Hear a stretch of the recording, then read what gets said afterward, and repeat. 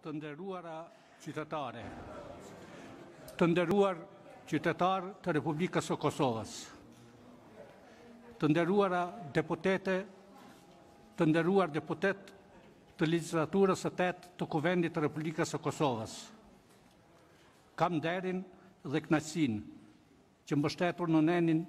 9.1 të rregullores së Kuvendit të Republikës së Kosovës, Unë, Avni Dehari, në cilësinë e deputetit më të vjetër për nga mosha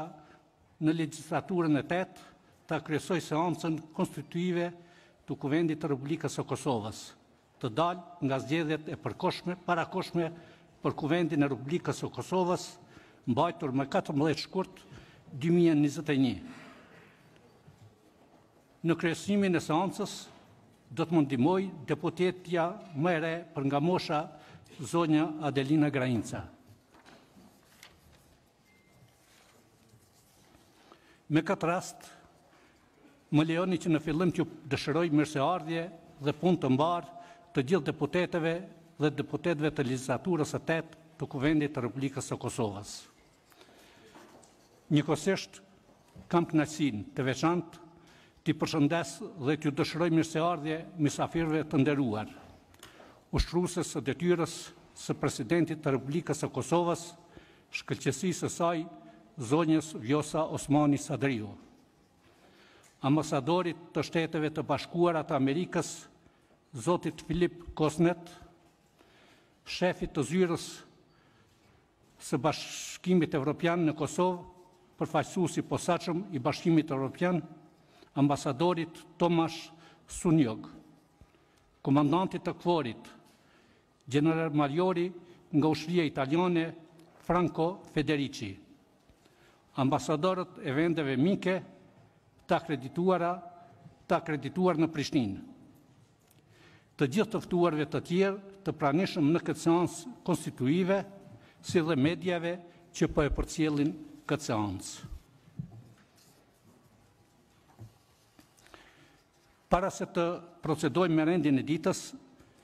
më lejoni që përkujtoj lidhur me rëndësinë e respektimit të masave për mbrojtjen nga pandemia Covid nëntëmbëdhjetë, duke u bazuar në manualin e Ministrisë së Shëndetësisë dhe në rekomandimet e Institutit Kombëtar të Shëndetësisë Publike të Kosovës, përgjatë seancës jeni të obliguar, në mënyrë strikte, gjatë tërë kohëzgjatjes së seancës, të mbahet maska nga secili. Diskutimi i deputetit, meqë elektronika ende nuk është rregulluar, të realizohet nga foltorja. Zonja dhe zotërinj, sot për të gjithë ne është një ditë e veçantë, një ditë tepër e rëndësishme. Qytetaret dhe qytetarët e Republikës së Kosovës,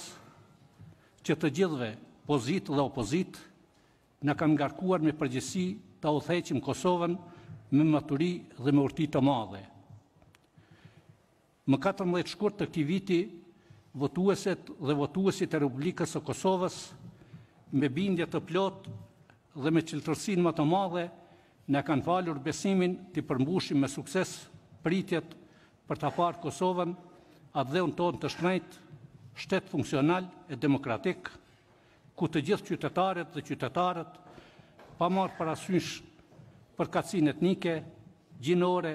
fetare e politike, ta ndjenë veten të sigurt, të qetë, të barabartë dhe të lumtur. Më 14 shkurt të këtij viti, votueset dhe votuesit e Republikës së Kosovës me vullnetin e tyre të shprehur me votë të lirë,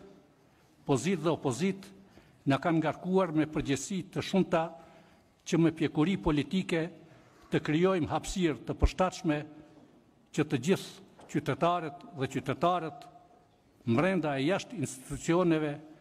të angazhohen me përkushtim të madh për ta bërë Kosovën shtet që ofron punësim, stabilitet, zhvillim përparim, qetësi, mirëqenie ekonomike, paqe të qëndrueshme dhe marrëdhënie të shëndosha në të gjitha fushat me fqinjët dhe me popujt e rajonit e të botës. Qytetaret dhe qytetarët e Republikës së Kosovës, me shprehjen e vullnetit demokratik përmes votës së lirë, nga të gjithë ne, pozitë e opozitë, kërkojnë dhe na obligojnë t'i ruajmë vlerat e lirisë, të demokracisë dhe t'i forcojmë marrëdhëniet me aleatët tanë tradicionalë, me Shtetet e Bashkuara të Amerikës, me shtetet e Evropës dhe me shtetet e tjera të botës që na kanë mbështetur në ditët më të vështira dhe që po na mbështetin për t'u integruar në Bashkimin Evropian, në Organizatën e Kombeve të Bashkuara në NATO dhe në të gjitha organizatat e tjera politike, ekonomike e kulturore ndërkombëtare. Faleminderit për vëmendjen, suksese të përbashkëta!